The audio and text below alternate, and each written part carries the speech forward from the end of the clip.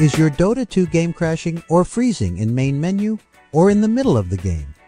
Then this video will show you some potential solutions to try.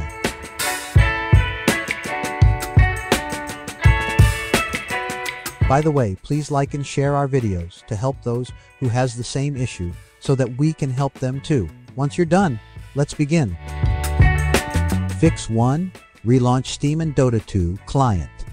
Close Dota 2 game and log out of your Steam account. Then close the Steam client using Task Manager. Once Steam has closed, restart your PC. After that, open Steam and launch Dota 2 again. Fix 2. Check for errors. Does your Dota 2 client crashes with an error message? If there's a specific error that shows up during or after crashing, try doing a quick Google search about that error to see if it's a server problem. You can also refer to Steam support site for a particular error.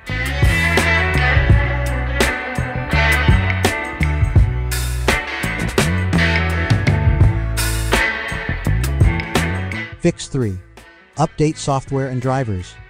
You must ensure that your computer's software is always updated. This is one of the easiest ways to minimize problems. The same should be done to your graphics cards. Even if your graphics card meets the minimum requirements or exceed them, it regularly needs updating to keep bugs away. Fix 4. Verify Dota 2 game files. This is one of the effective solutions for Dota 2 crashing issues so far.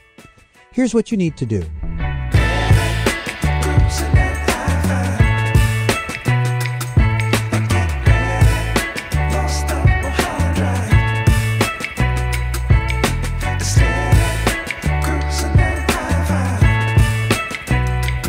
Lastly, re-download Dota 2 files. If your Dota 2 game continues to crash, it's possible that its game files may be corrupt. You can reacquire all Dota 2 game files to fix the issue. Here's how.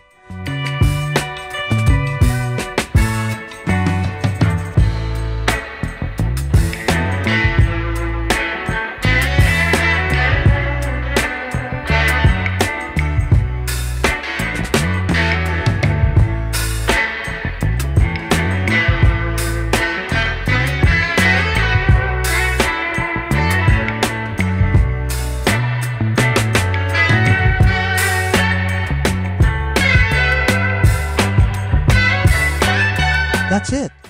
If you think that this video is helpful, we would appreciate it. If you can leave a like or comment, subscribe to our channel or share it to your friends. This can greatly help in making Google's algorithm can find and recommend this to others.